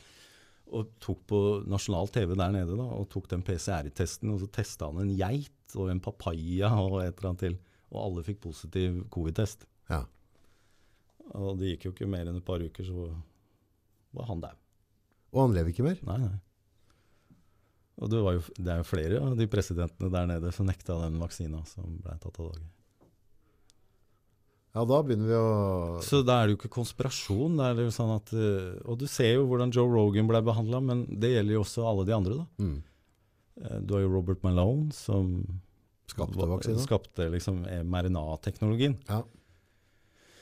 Og, og måten de blir behandla på, og så er det veldig tydelig at vi ser de samme tegnene siden sist vi var okkupert. ja, samtidig så har jeg liksom så vondt for å tro at, liksom, at, alle, at det er så mye gærent. For det blir, liksom, det, blir, det blir litt for mye å, å Ja, det er derfor liksom når du, når du liksom ikke har noe mer penger igjen, og låner ditt er plutselig 21% rente og ikke 2,1. Ja. Når dieselen koster 40 kroner, en kilowattime koster 50 kroner, kanskje du Skjønner du da? Skjønner du da? Kanskje Vi får se hvor lenge de skviser deg til det ikke er noe vann igjen. Ja, men Det du ofte har sett på disse historiene, så kan du se på en måte at myndighetene har dratt strikken for langt, og så går det til et punkt, og så blir det på en måte at folk sier nok er nok, og så har vi en ny periode sånn at det er litt ålreit igjen, og så er det en ny syklus. Altså, det virker som Ja. de syklusene bare altså, tar over. Og, og, Ja, det gjør jo at vi fort glemmer, da. Hvis Ja. vi får en god periode, så glemmer vi alt det gærne som ble gjort. ja, det er for at vi alle mennesker er dårer, så når vi har det litt ålreit så, men jeg tenker jo på alle de der ute nå da, som enten har blitt sterile etter denne vaksina, ja, har hjerteproblemer, mista liksom unge ja. Hvem er det som tenker på de, da? Men ligger de tallene ordentlig ute ennå, eller er det Nei, altså Nå slutta jo FHI å legge ut disse tallene, og det, det, det er jo veldig mye rart. De har en plikt til å, å legge ut de, Ja, men det har de slutta med, det òg. altså det blir ikke lagt ut mer? Nei. Og da, da, da begynner du å lure. de Det er jo ikke si det- ansvar det Da vil sikkert dem si at det er for at det ikke er noe tall å legge ut, da, vil de sikkert påstå. Jo, det er masse tall å legge ut. Nå har de jo endra reglene nå, da, sånn at folk som dør av vaksina, blir registrert som covid-død. Ja, Det står jo på hjemmesidene. deres. Gjør det det? Ja. Så det kan du gå inn og lese på sjøl. Det kan du. Det er, Så det er helt absurd. Det er ikke logisk. Det er ikke Og jeg ser mønstrene da fra en som Altså fra noen som ikke bryr seg om andre, andres Mm, liv, mm. da. Og, og du Altså nå har jeg hatt gleden av å bli kjent med en venn av deg som heter Dag Thomas. Ja. Og, og vært med som eh, kameramann der. Og, og, og da møtt f.eks. professor Mette Kallager. Ja. Og blitt forklart veldig nøye og nøyaktig hvordan PCR-testen fungerer, og hvordan dette viruset har mutert seg, og alle disse tingene i detalj. Så selv om jeg ikke har noe helsemessig utdannelse, så, så har jeg vært veldig nysgjerrig og veldig nøyaktig med hvem jeg har tatt informasjonen min fra. Mhm. Og dette er jo professor i medisinsk beslutning. ja. Mens der står Bent Høie, som eneste utdannelse han har, er å være pikkolo på hotell. Og står og snakker ned til hun. Det er helt vilt. Ja. Det burde jo vært helt omvendt. At de aller mest kyndige styrte. da. Mm. Mens istedenfor så ser man at det er denne politiske makten som har all rådighet til å bestemme. Selv om det ikke er fornuft, eller selv om det ikke har eh, koherens med profesjonelle. Da. Og det er veldig spesielt. Charlotte Haug var jo en annen. Og de kommer på debatten og stiller viktige spørsmål, men de svarer ikke. Og en veldig typisk ting å lære med antisosialt personlighetsforstyrrede, når de ikke liker å svare på spørsmål, så, så gjør de en såkalt ordsalat, kaller vi det. ja. Men på teknisk fagspråk så kaller vi dette oksymoron tale. Aha. Det betyr at du snakker rundt, Ja. men du har aldri endt opp til noen ting. Sånn ordentlig tåkeprat. Ja. Ja. Og dette er jo en språkteknikk for å manipulere. Og når du ser debatten gang etter gang er en koreografert teaterforestilling i oksymorontale. Ja. De, de svarer aldri på spørsmålet. Ja. Og blir de pressa litt for mye, så, så går de alle til den samme. Ja, vi skal undersøke, og vi skal sette oss ned, og vi skal nedsette en kommisjon, og alt mulig. Og så skjer det ikke noe. Det barnevernet fortsetter, det strømkrisa fortsetter, alt bare fortsetter. Så det er bare en måte for å få deg til kulen, og ikke klikke, og så bare får de holde på lenger til det er for seint. Mhm. Og så var det ikke godteri i bilen allikevel. Nei, ikke sant. Nei, et eller annet uh, Dette har vært fryktelig mye åt meg nå. Eh, Mye, mye, mye fordøye her. Men, uh, men jeg sitter jo igjen med magefølelse på at, det er som at ting er ikke som jeg tror det er alltid. Da. At ofte er det tanker bak ting. Og det gjelder jo generelt i livet.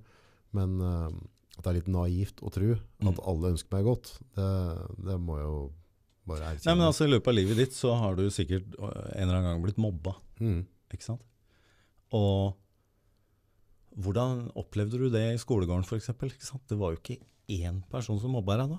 Nei. Det var jo de rundt deg, og folk som prøvde å late som de var venner inne, var med på det. og Det var plutselig en gjeng på den mobbinga. Ja. Alle de mobberne er jo jævlig feige, ikke sant? Ja. Men er det ikke så vanskelig å forstå, da. At det politikk er, er jo bare å prøve å, å bølle og mobbe psykisk med hverandre. Så det er jo disse samme menneskene som, som liksom Vi har alltid syntes synd på, for ja, de mobber jo fordi de ikke har det så bra, og alle disse tingene. Og så er det ikke sånn at du og jeg tenker, fordi vi har jo empati og er generelt snille, Ja, så forventer vi at alle andre er som oss, ikke sant. Ja naturligvis. Men jeg vedder på at du har møtt en eller annen person i løpet av livet ditt som du bare tenker Det er satan faen, Ja, altså. dette var ikke bra. Og så sier jeg sannheten. Ja. Og dette er jo forskning. Det er minst 1-2 og det, Da mener du at det er mørketall. Det er, vurderer du det ned, er bare rent på jakt etter andre folk. Ja. Og så ser du på statistikker på hvor mange er i fengsel. Hvor mange er i psykiatrien. Mm. De har bygd ned det. Mm. Så det betyr at jævlig mange av disse går løs. da. Mm. Og da, da, da, da begynner det å bli tydelig. Mm. Det er jo ikke sånn at hadde du latt unga dine bli passa på Nei, av de fleste politikere Nei. Men du har ikke tenkt på det sånn, ikke sant? Så hvis ikke du hadde latt dem være aleine med unga dine, hvordan kan de få lov å bestemme over unga dine? Det kan du si. Helt merkelig. Men vi tillater dette. Det, det, er, det er akkurat som det er en masse De kalles jo massepsykose, da. Altså mass formation psychosis. Eh, med professor Desmet. Eh, jeg tror det er Belgia han er i. Som mener at dette er, er liksom Vi er så programmert til å på en måte akseptere autoritet. Mens det egentlig er det samme som i soppverdenen. Para, parasitter. Parasitter. Så i psykopattesten, som heter PCL-testen eh, Den er jo også helt horribelt gammel og var egentlig bare basert for forskninga til en som heter Robert Hare, eller Hare, eh, på fengslede i USA, som har liksom blitt tatt for seriemord og sånne ting. Så, så utvikla han denne PCL-testen med 20 spørsmål som kunne definere alvorlighetsgraden i dette spekteret av narsissisme. og hvor heftig psykopat og farlig psykopat er. Og i spørsmål seks der så er det jo Lever de parasittisk? Og så begynner det å slå det sammen med hvor mye korrupsjon Og de har allerede en grei lønn de på Stortinget, da. Ja, ja. Men du må leie ut uh, boligen og si at du bor på promperommet til Trond Giske når du er stortingspresident. Og, og, Når, når er det nok? du liksom? veit ikke om du bor med gubben din i Ski eller i Trondheim hos Trond Giske, liksom. Og så skal du ta penga for at du pendler til og fra Trondheim til et sted du ikke bor. Når du er så Ja. grådig, Ja. Så har du ikke noe i noe ledelse for dette landet å gjøre. Nei, da har, vi Ferdig snakka. da har vi et dårlig filter på hvem vi slipper Pell ledelsen. av. Ja, enkelt og greit. Mine skattepenger skal ikke gi deg lønn i det hele tatt. Nei. Men det Så jeg mener at minimumskrav det er det enkleste løsningen på hele krisen her, og vi får finne sannheten da, etter hvert. Mm. Så kan vi akseptere å bli kalt teoretikere så mye vi vil. Men la oss først finne ut hvem er som har empati og ikke blant de som leder og Ja, styrer. ja. Det er helt uakseptabelt at om du ikke har medmenneskelighet, så bør du ikke få lov å bestemme over menneskene du lever med. Det sier seg sjøl. Ut med det. Ja. Og nå har de jo idiotene lagd eh, tvangsvedtak om tvangstesting og alt mulig. Vi kan bruke det på dem. Ja. Nå finnes det jo gentester som måler om folk har reguleringsgen. De gjør det, ja. Og da, da er det samme som å si at du og jeg, vi ser naboen står der med to Ferrarier med ene bildøra oppe, så klarer vi å regulere Åh, vi skulle gjerne hatt en sånn en, en gang. Og så har vi en samvittighet som bremser oss, ikke sant. Ja. Mens når den ikke er der, Da burde du i hvert fall ikke sitte på Stortinget. Da. nettopp Du kan tenke deg hvilken skade disse her kan gjøre høyt nok opp i systemet. Hvis folk ønsker å finne ut mer om det du har pratet med, er det, er det noen nettsteder folk går på? Altså, er det forum? Altså, hvor er det? For det, poenget er at liksom, med, når en prater på sånne ting, så ofte så kommer det òg i kjølvannet folk som er megaekstreme, og så blir det liksom sånn der, mye av de historiene blir så brutale at det liksom er, ok, dette, dette, dette ble Ja, det er mye å ta inn for folk. Ja, Det er jo det. Nei, altså Psykopater, det, det er jo masse om dem. ja, Um, nå, nå er det mye utenlandske studier. Her i Norge gjøres det jo ingen forskning på dem. Eh, så det er veldig lite norsk. Men eh, jeg vet at Randi Rosenquist da, mm, hun uh, har jo lagt ut noe gjennom forskning.no osv. Om, om disse funnene med å skanne hjerner. Ja.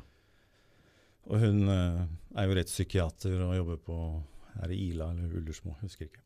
Uh, hvor hun har fått anledning til å, å prøve disse tingene, og at de funker. Ja. Så at det bør være en enkel ting å implementere. Det har vært mye dette for meg. Så bra. Ja. tenker jeg. Altså, vi er jo her i en samtale hvor jeg mest av alt håper at vi kan dele noe til hverandre. Og jeg er veldig lei meg for å dele det bare dårlige ting.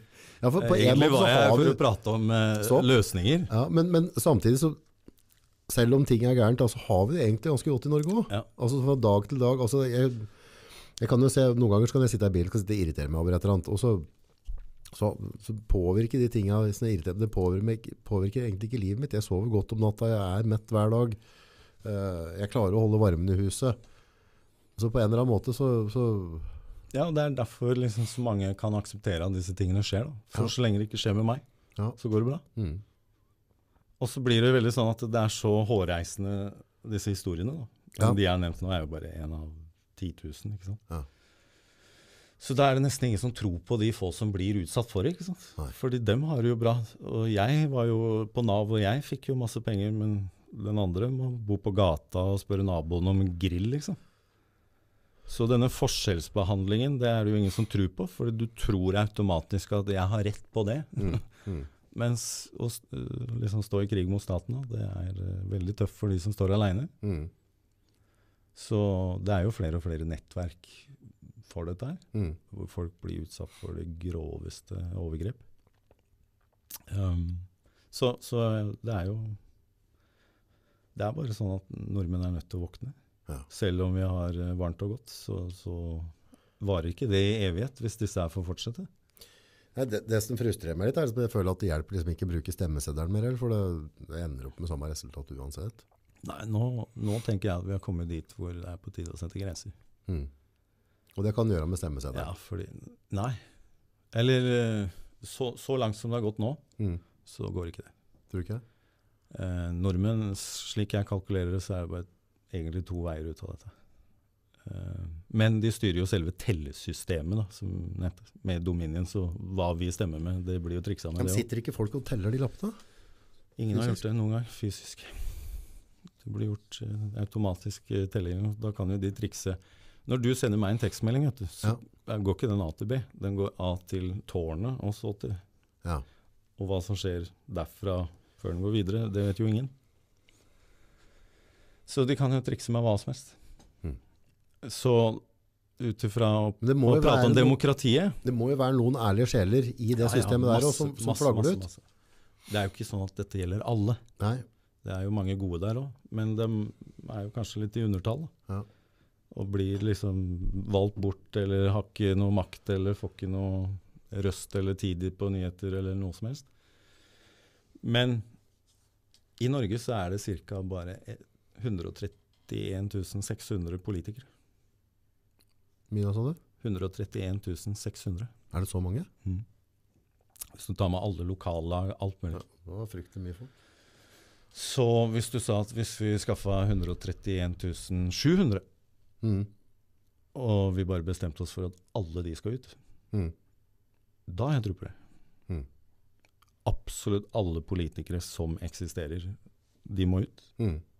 Og så får vi helt nye fra bunnen i hvert Mm. lokallag, hver bygd, i alt mulig. Det kommer aldri til å skje. Vet du. Det, det blir en for stor oppgave.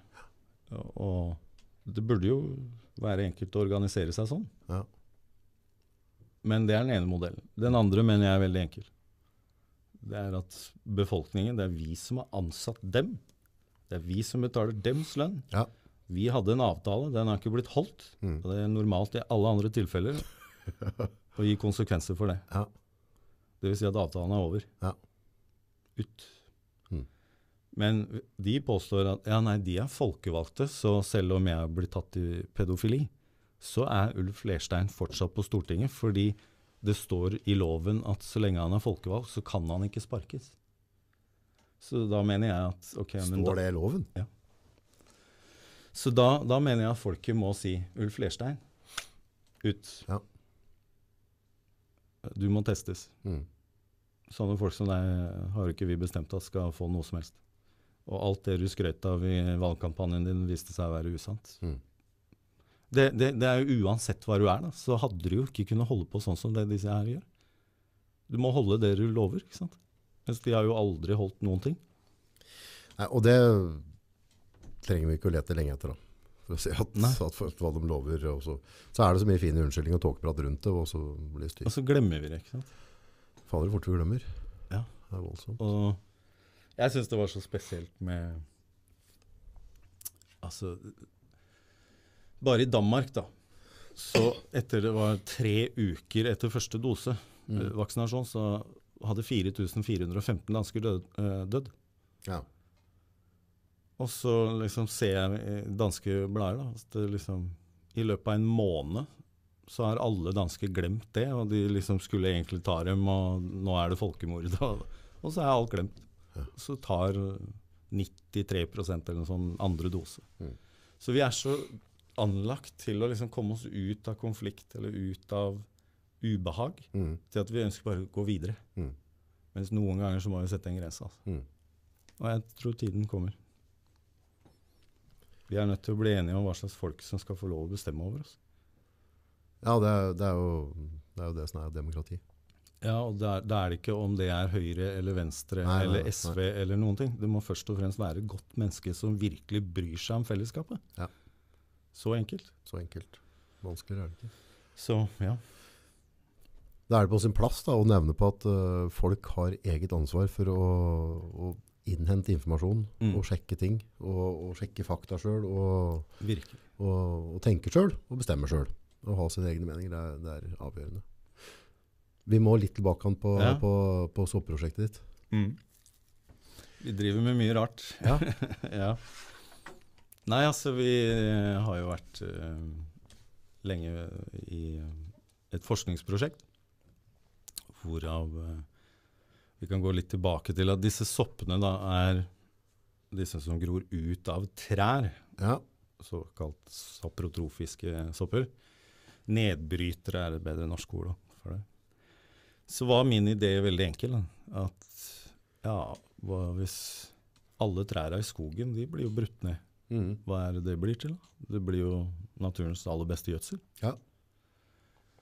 Så da, da starta det der, og så begynte jeg å ta kontakt med lokale bønder. da. Og så si at uh, Fortrinnsvis de økologiske først, da, for da var det mye enklere.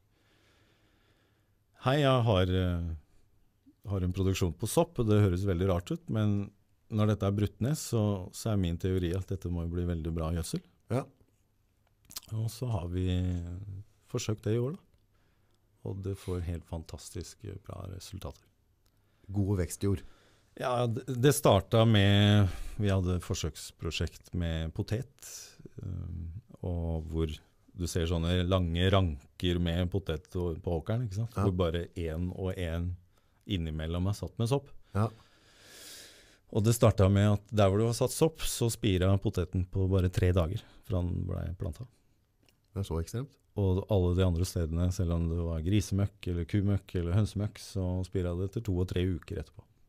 Så allerede der så gir soppen en effekt på at det gir en litt fuktigere jordsmonn. Ja. Så frøene og, og næring og alt mulig er mye mer tilgjengelig med en gang. Ja. Og så har jo utover sesongen dette utvikla seg, og de gror rett ifra resten. Helt annen farge, og man ser at nitrogen og disse tingene er veldig mye mer tilgjengelig. Um, så hvis vi tar tilbake til Nederland et halvt sekund, hvor politikerne da har valgt å si hei, dere må kutte ut 90% av kunstgjødselbruken deres Ja. til bøndene. Hva skal de bruke, da? ja, hva skal de bruke?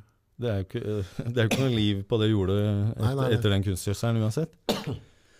Så der er jo vel kanskje vi ser det største på en måte fortrinnet ved å bruke soppgjødsel. Da så vi jo en rekke effekter. Marken kommer tilbake, liksom biller, alle nyttedyrer dyr, eh, og bakterier og samspillet i mikrobiomet kommer tilbake. Ja. Um, så vi har prøvd det på å reparere noen jorder som har brukt kunstgjødsel, og, og når du slutter med det, så gror det jo ikke gress der engang. Så det er veldig spennende å se om vi kan prøve å tilby bøndene da et nytt alternativ. Um, og det blir jo såpass ekstremt det òg, egentlig.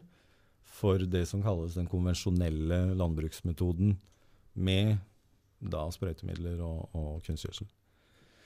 Så blir jo dette gå helt andre veien, at vi tenker at ja, hvis dere skal ødelegge jordet deres litt og litt hvert eneste år, og uttømme den for fullstendig av all energi og, og næringsstoffer, så tenker vi helt motsatt vei. Mm.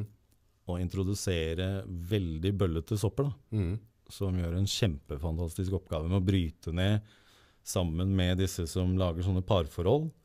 Sånn at de bøller vekk alle de slemme soppene, og heller beskytter jordet.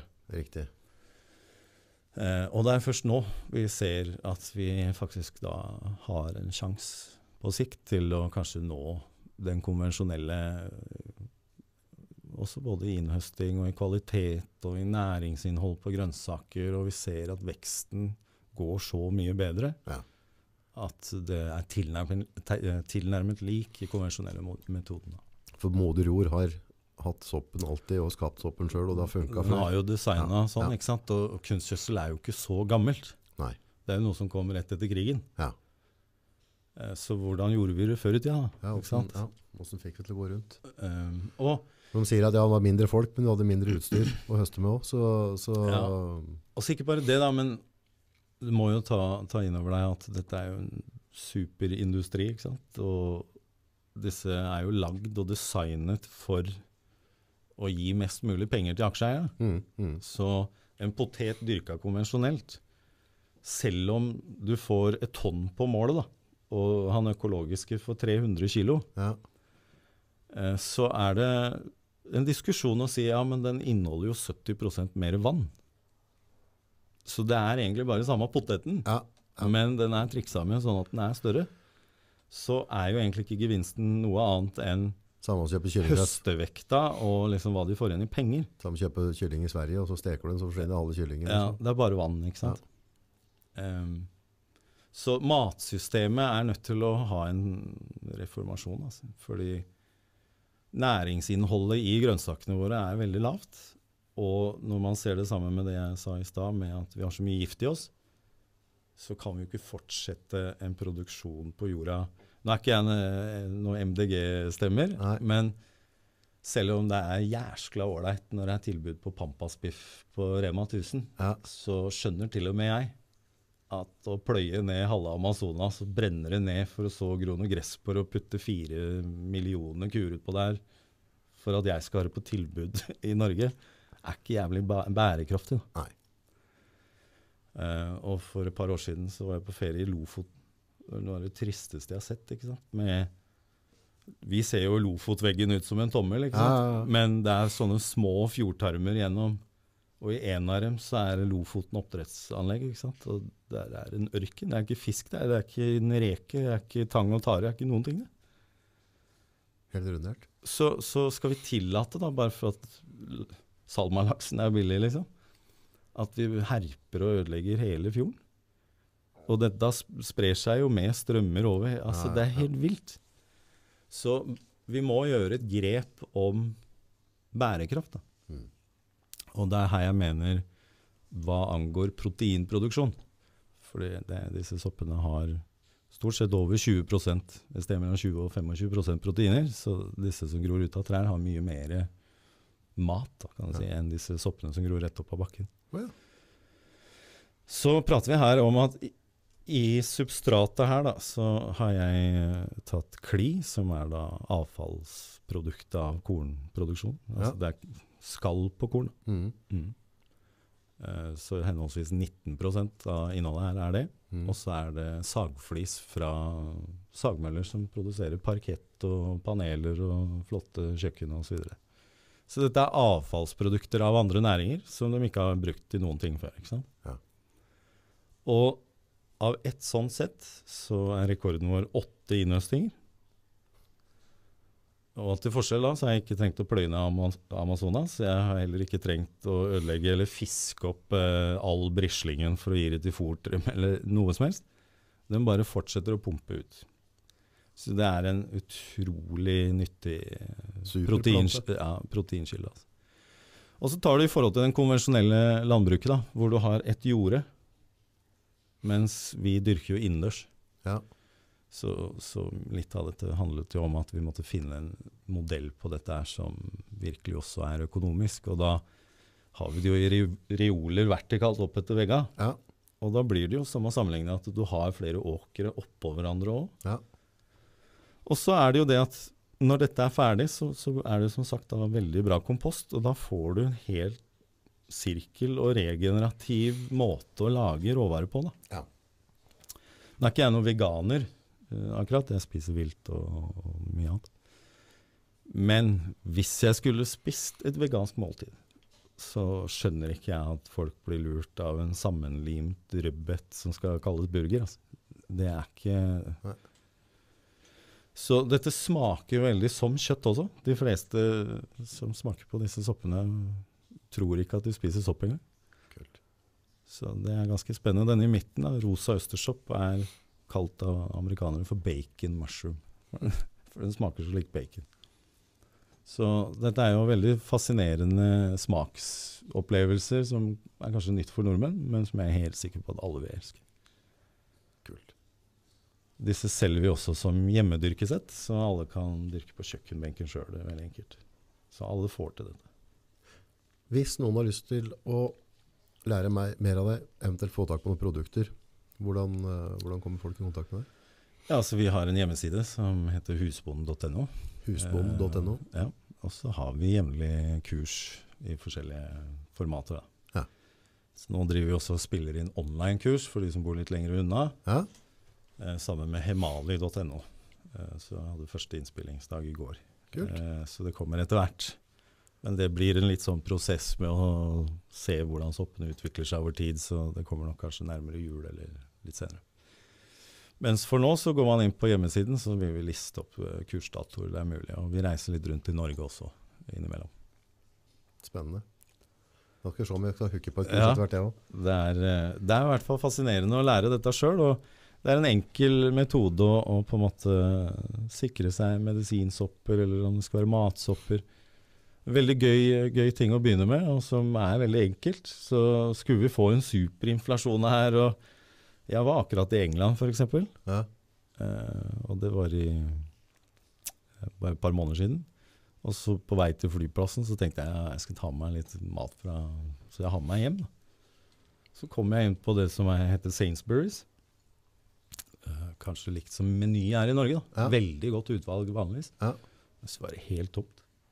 Seriøst? Det var ikke en dritt i grønnsakshyllene. Det var, en, det var helt tomt. Så det har jo allerede starta der, og, og det er grunn til å tro at sånne ting kommer til Norge òg. At når nordmenn har så mye mer import, så, Ja. så vil inflasjon slå hardere. Og jeg vet at det er ikke alle nordmenn som kan gå ut og jakte, eller Nei, nei, eh, har beina fatt til å gå og plukke all sopp eller eh, andre Eller ting. kan å plukke sopp og vite Og, og med denne metoden så kan uh, alt fra et barn til en gammel person skaffe seg råvarer sjøl. Så det er en veldig enkel måte å dyrke på, som alle får til. Tøft. Jeg driver og går tom for barnevakt, jeg. Ja, Ja. Så. Du, dette var vanvittig spennende. Jeg fikk liksom ti mil å tenke på. mm. Masse, masse nye tanker. Ja, dette er veldig, veldig spennende. Jeg er helt sikker på at uh, lyttere også synes det er veldig spennende. Men også utrolig kult det at du kan dyrke mat på en enkel måte hjemme. Mm. Uh, og det er noe vi alle bør ha interesse av. Mm. Er du ikke enig? Og, og veldig god mat òg, da. Ja. Så det er virkelig verdt å prøve. Det spist- sier jeg ikke bare for at jeg lager dem. Nei, nei, jeg, jeg, jeg har spist altfor lite sopp gjennom livet mitt. Mm. Jeg har liksom aldri uh, hatt interesse for det, men jeg skal, jeg skal begynne å venne meg til og skal prøve meg Du har fått noen prøver her, så Ja. da har du noe å prøve. Da. Du, tusen hjertelig takk for besøket. Selv takk. Sett umåtelig pris.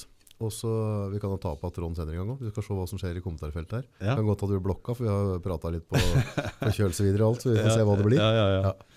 Det blir det se. det blir. Ja. Nei, men tusen takk. Setter pris. Ok, takk skal du ha. Ha det.